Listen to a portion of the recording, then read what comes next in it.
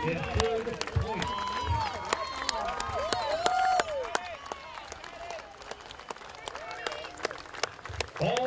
racers must have their caps on to be qualified here today.